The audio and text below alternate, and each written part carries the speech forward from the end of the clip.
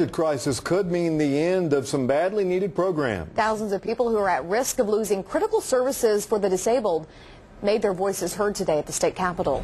News 9's John Jordan is live with the story for us tonight. John?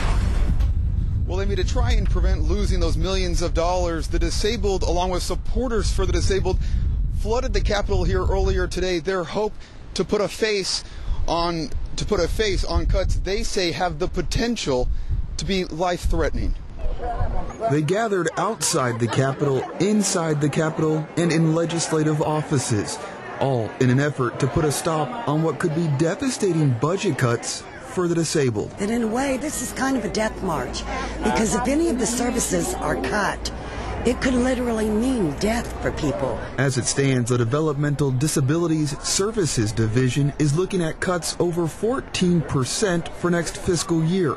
A cut so deep the division would be faced with losing $72 million, and for some disability services to be eliminated.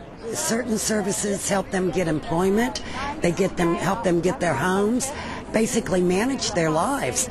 But as it was explained to the demonstrators, they aren't the only ones that risk losing services. Uh, the House and Senate have certainly made deep cuts within their own budgets, though, and uh, definitely with any changes. We understand that there are limited resources. I, I think uh, anybody who reads the paper or watches television knows that there's a budget crisis. Uh, the difference between what we're talking about today and these programs and the other departments of state government is that this affects people's lives. A kind of message that appears to be working. And I oppose these cuts. I don't think that we can leave the people in our society who need the most help uh, uh, out in the cold, and I don't intend to do it. But until they can get a majority of lawmakers to feel the same, these protesters have no intention of giving up. If we do not convince the legislature, and perhaps we need to do this as often as possible until the legislature realizes that we will not stand for it.